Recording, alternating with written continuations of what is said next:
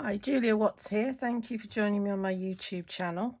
So today we're going to um, create a card using some Fairy Hugs uh, papers, um, some of the dies and some of the stamps as well. So we're going to create a scene.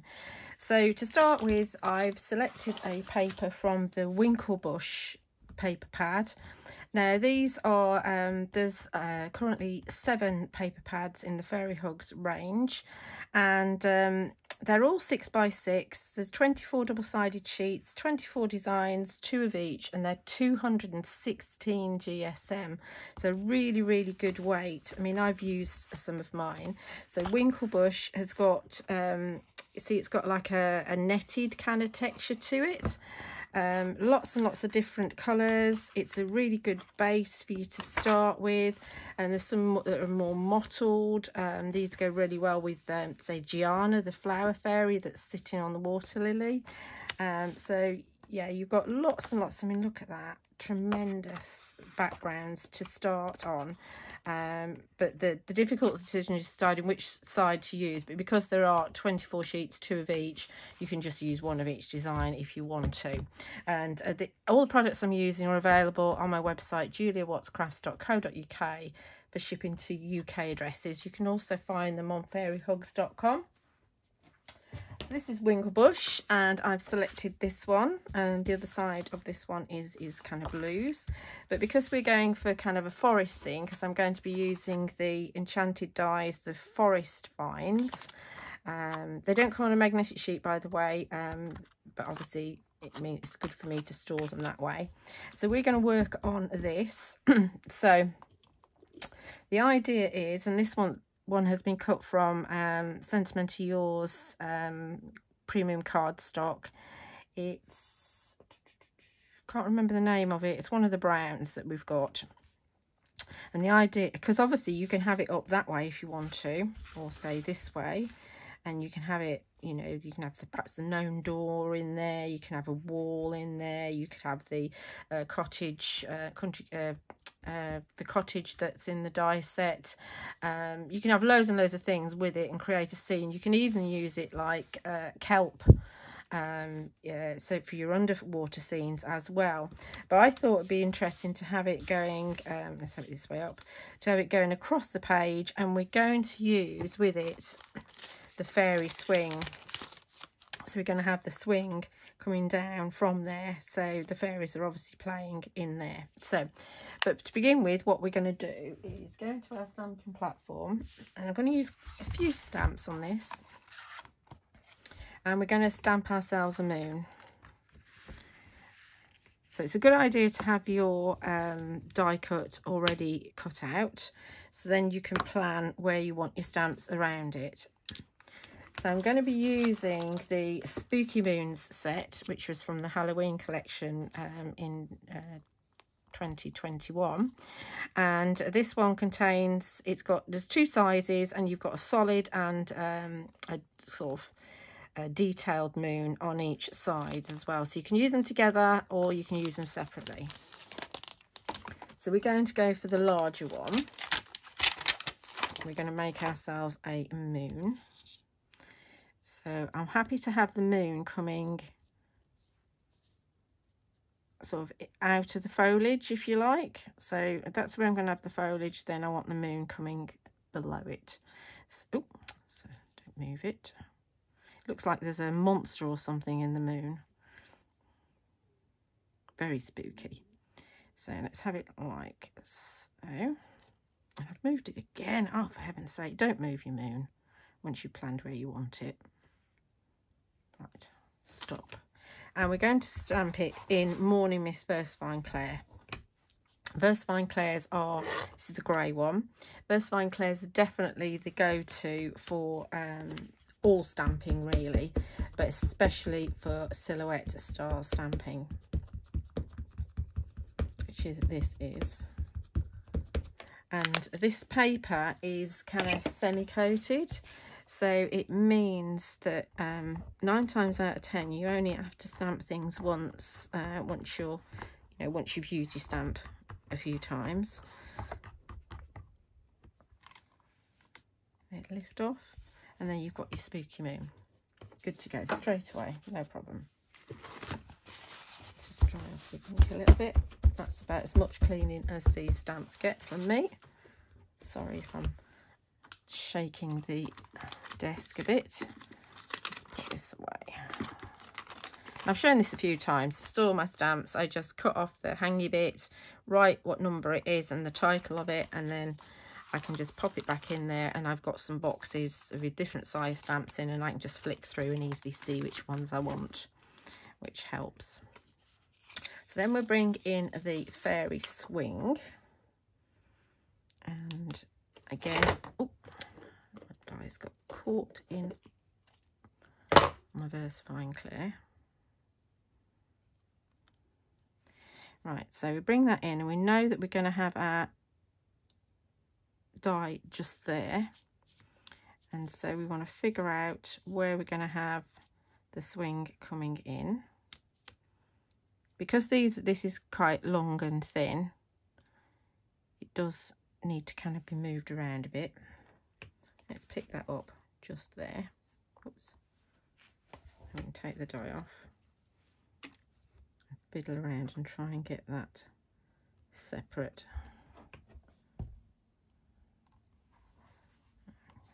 Okay, so let's just have a look. So we don't want to stamp all the bottom bits fine by the looks of it. But we don't want to stamp all the top. So we only want to ink up to about there on the top bit.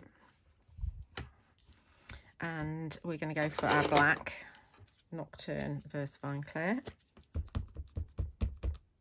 Let's hope I don't forget that I don't want to ink it all which is always a danger with me.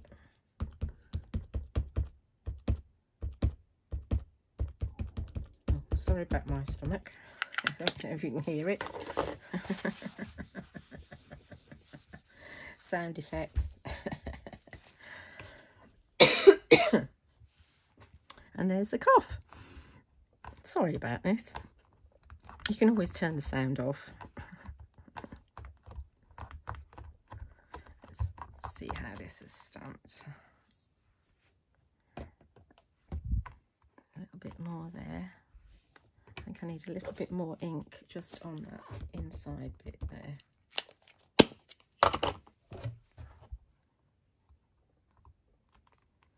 That's better, okay.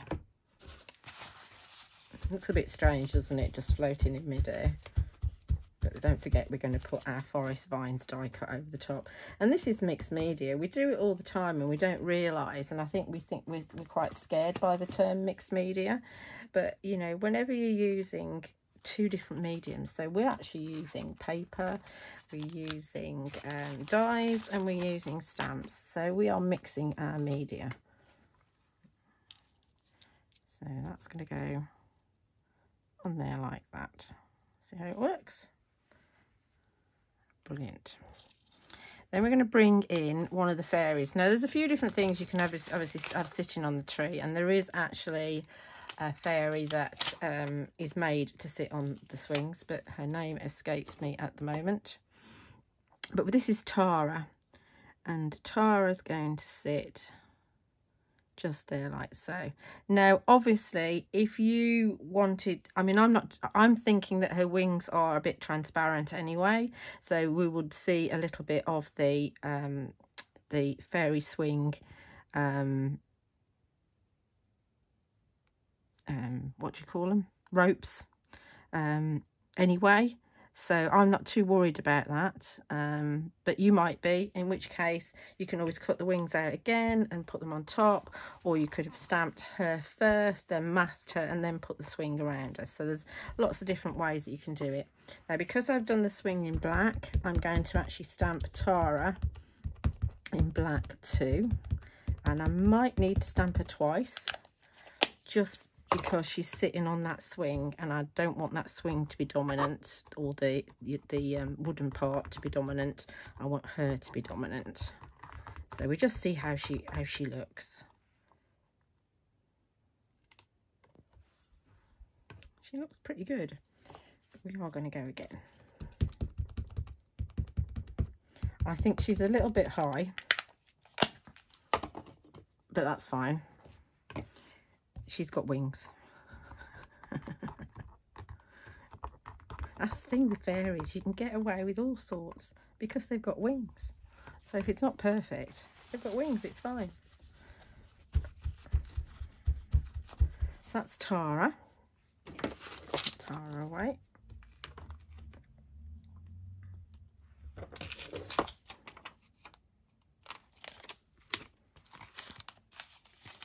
Then we're going to bring in something from down, for down below.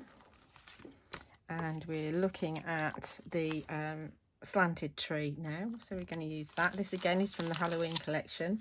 But don't think of these collections like some of the Christmas collection. Don't think of them as necessarily just being for that time of year. I can get away with that still staying there. so obviously this this could be used that way up if you wanted it to.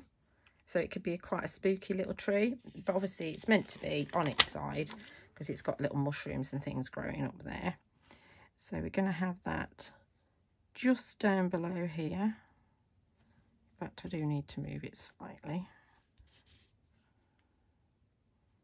Because I don't want her foot to be in the way. Okay. And then bring in the magnets so that it doesn't move. So I've 97 million of them on there because I like my magnets. And we're going to stamp this in a brown. And we're going to go for Acorn VersaFine Clair.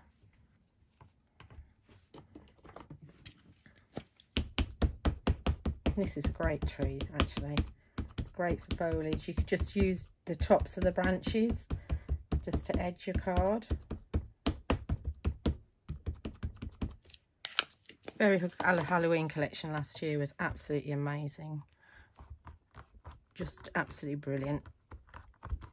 I don't normally do Halloween, but I thoroughly enjoyed using them.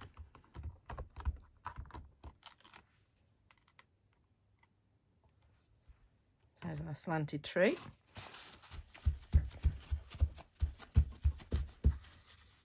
I do sell these um, papers, by the way, for your press to impress. which means that you can keep your um, your foam um, nice and clean. Uh, right, so we do need a sentiment in here. Put back over there a minute. So I've got a few that I could use. I've got a couple actually that I've got out. Every day is an amazing adventure which I think really fits really well because obviously she's on the swing, she's having a wonderful time and she thinks that's absolutely brilliant. So we can have that one. I was wondering whether to use Listen, which says, uh, there is always music among the trees in the garden, but our hearts must be very quiet to hear it. So that's, that's a really nice one, but I'm going to use that one because I really like that. And I was thinking that I might want to bring in um, an animal or two, but that one's not going to fit. These are squirrels. That one might fit, but then I need to make sure that I bring my sentiment up. Or we could just have him, the little one, on there. Or we could bring some caterpillars in. We've got mini caterpillars as well, so we could have have these and bring these on. Can have a few of those maybe. Let's do the caterpillars. Options. It's nice to have options. Right, so let's get this uh, this sentiment on first. And we'll have it slightly to the side, I think. See if we can get it straight. I think it is. And we do that in black so it's nice and prominent. Black. Nocturne. You see I'm very heavy handed with my ink. These are photopolymer stamps. They're not acrylic so they're very good quality stamps. Um, my very very first fairy hug stamps and then I've been using them for nearly two years now are still as good as the day I had them how crisp that is. Like I say, these papers, they are absolutely fantastic. and then we bring in our little um,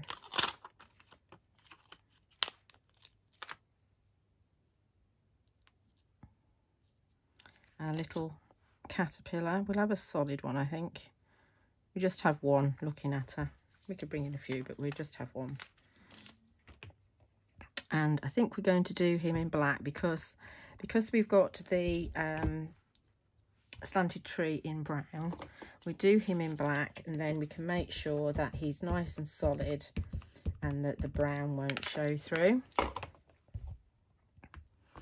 So like I say, once they're dirty, you can see exactly where they're going. You might not always get it right, but um, you pretty much will. In fact, I don't think he needs any more ink. I think he's good. Yeah, let's leave him at that. So that's our little scene. So all we need to do now is grab our, take it out of here and we grab our die cut to complete the scene so she's not floating in midair.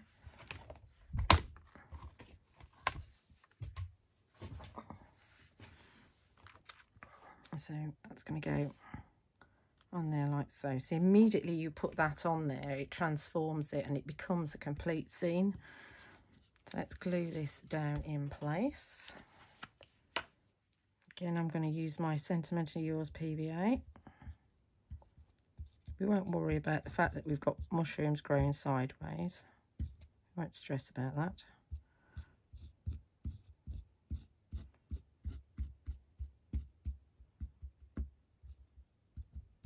Obviously you could um, cut this out of a double-sided adhesive sheet with your card on it and if you're doing that I would suggest you use the Elizabeth Craft Designs one because it is very very good and then you don't have to do any gluing. You do however have to poke out all the excess bits of um, double-sided adhesive sheet from your die so it's kind of swings and roundabouts really. Think that's enough glue. I'm just going to get a piece of Mickey kitchen roll and pop that on there for a second. Clean that off. And then we're going to pop this. That just gets rid of a bit of the excess. And then we're going to pop this, hopefully in the right place.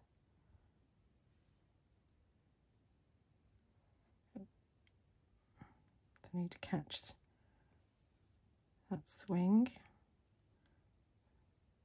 It's floating in midair a little bit, so obviously I couldn't see that properly. So what we'll do is we will get a Pigma Micron pen.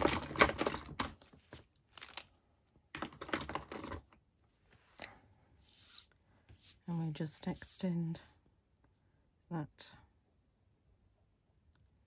just into there like that so nobody would know.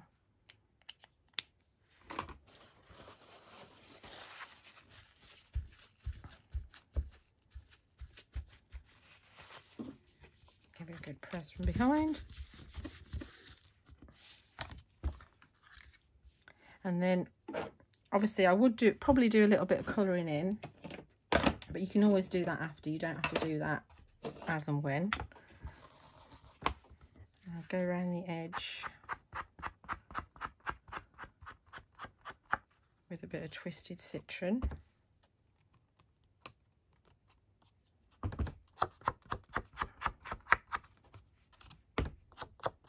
Barely see it, but it is there.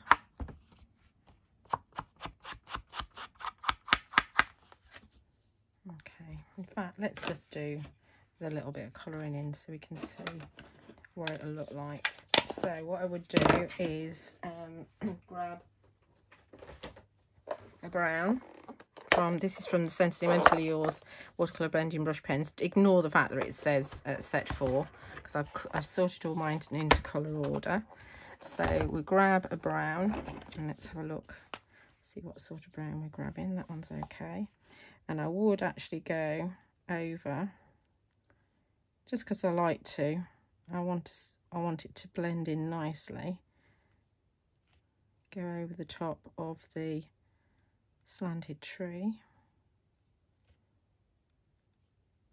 And this is just really quick, just to show you.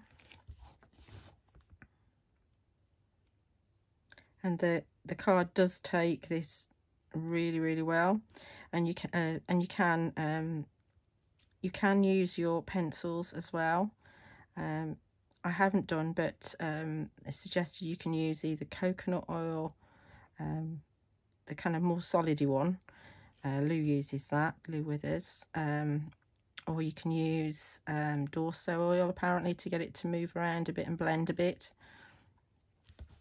and that, that's something for me to try as well. Okay, so a little bit more brown in there and also on the bench as well that she's sitting on. Just to fill in that area there. finishes that off and then the other bit of colour would be to her wings so obviously it's up to you as to what colour wings to try um, we'll just go with um, the pens that we've got in front of me. Oh, fluorescent orange. God, you're going to see her coming, aren't you? Wow. There are a few fluorescents in this set, actually. Um, there's a yellow, a pink, and um, the orange. I mean, she would be quite, quite flamboyant, wouldn't she, really? Let's go for this one. Let's have a look at that one. That's more of an orange. That's fine. So we just add a little bit of extra here.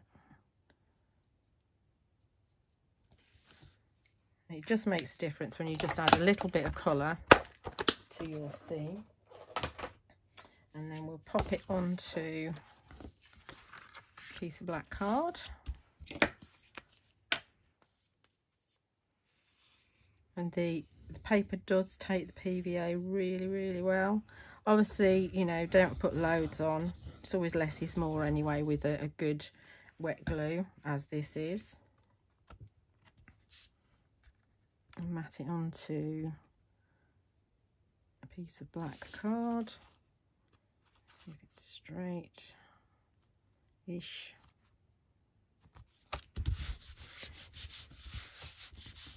and then we can put it I've actually got a card blank to put this one on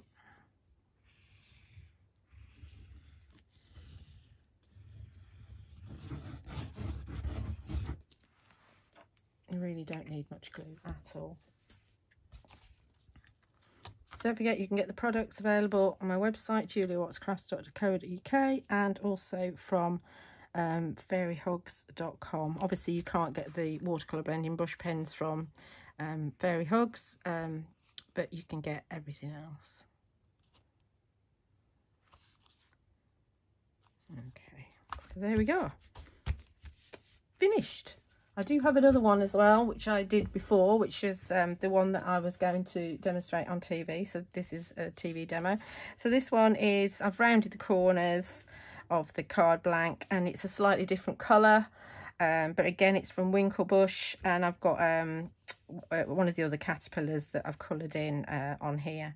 So um, two almost identical but different cards using a selection of stamps and um, the Forest Vines dies and the Winklebush paper from Fairy Hugs.